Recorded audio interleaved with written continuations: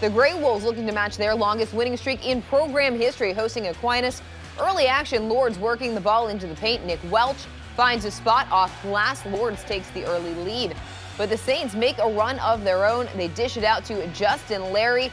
Lets the dribble fly. Gonna get the friendly bounce off the rim as the Saints build an eight point lead.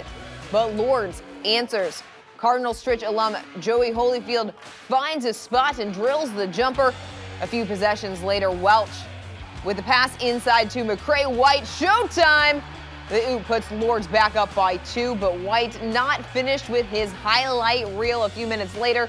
They go to him again, finishes at the rim. He finished with 16 points. Holyfield leading the way with 23 as Lourdes goes on to get the win 76 61, tying the school record for consecutive wins with 11.